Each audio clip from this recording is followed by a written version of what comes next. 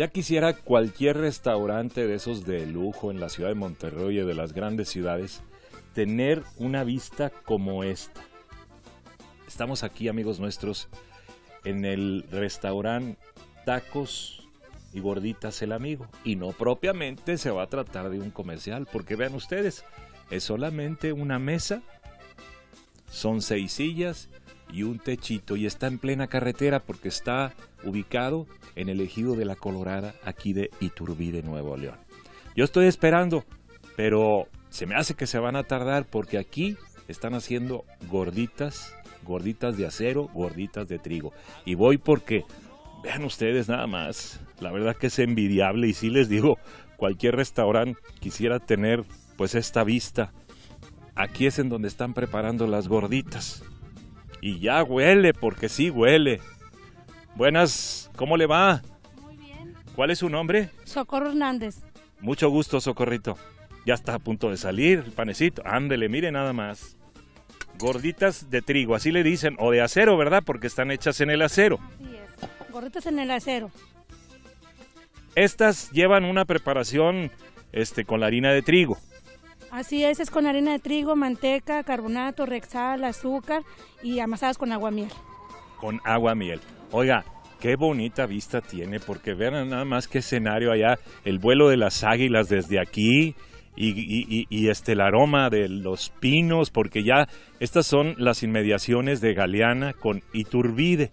¿Cuánta gente habita aquí en La Colorada? Somos más de 100 habitantes. 100 habitantes. Y usted se ubicó aquí, pues con tacos y comidas el amigo, ¿verdad? Y vendemos también lo que es la gordita de mm, o sea, salsope, relleno con comida, deshebrada, picadillo, papita con huevo, nopales con huevo, y tacos de harina. Ándele. También. No, ya se aventó el comercial, pero bueno, la verdad que el restaurantito este, invita a estar aquí porque en lo alto así de la, de la loma y con este escenario pues muy especial. ¿Y desde cuándo está aquí? Aproximadamente tenemos ya más de 8 años. Ocho años. Y la gente que pasa aquí por la carretera pues aquí llega. Ya nos conoce, ya tenemos clientes, ya saben que las gorditas, el aguamiel, los, los tacos de harina, los sopes y el taco de maíz. Ándele, socorrito. Bueno, oiga, yo veo que también hay gorditas, pero las de azúcar, ¿verdad? Así es, también gordita de, de azúcar, de trigo. eh, De estas, ándele, hechas estas son. Miren nada más, hechas en el comalito.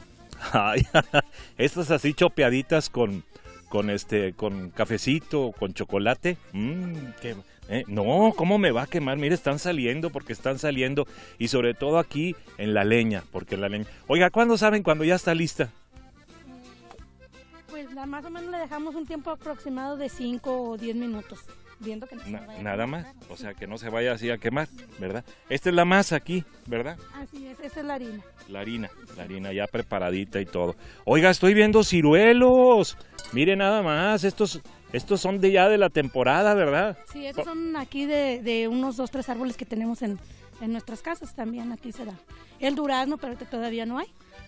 Y sí, sí, pues por lo que estoy viendo es que sí fue buena temporada de ciruelo, porque pues a veces no, no, creo que el año pasado no hubo, El ¿verdad? año pasado no hubo ni tampoco durazno, como que se viene mucha la plaga que le decimos aquí, o se plagan los árboles y ya no, no da la fruta. Es el, es el ciruelo que lo conocen también como el mayero. ¿Por qué? Porque viene de últimos de mayo, que ya se está madurando, ¿verdad? Así es, porque hay otros que se dan, pero como por agosto o algo así, pero estos son mayeros. Es mayero, ¿verdad? Oiga, socorrito, qué envidia, la verdad, estar aquí en este lugar. Venga No. con nosotros. Mire nada más qué escenarios y disfrutando hacia la leña con esta tranquilidad y todo. Yo le agradezco mucho, ¿verdad? Muchas Porque le agradezco mucho que, que me haya recibido aquí No, claro. y este y desde luego que no me voy a ir sin probar Ah, no, la claro gordita. no, no, no. Miren, ¿gustan ustedes? Gracias. Voy a continuar con más reportajes de Alvarado y Turbide, Nuevo León. Mm.